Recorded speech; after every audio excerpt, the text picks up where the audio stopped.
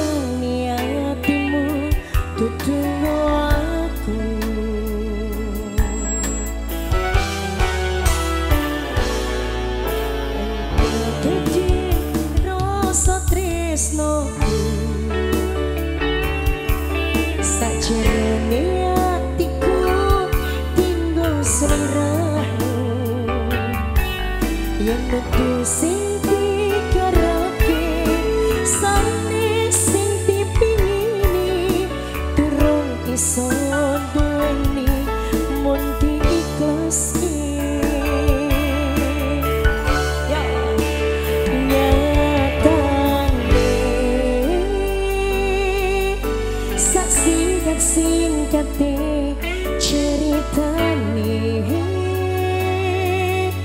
Ngelaliki tetap ora gampang Rakoyo kowe sing gampang kowe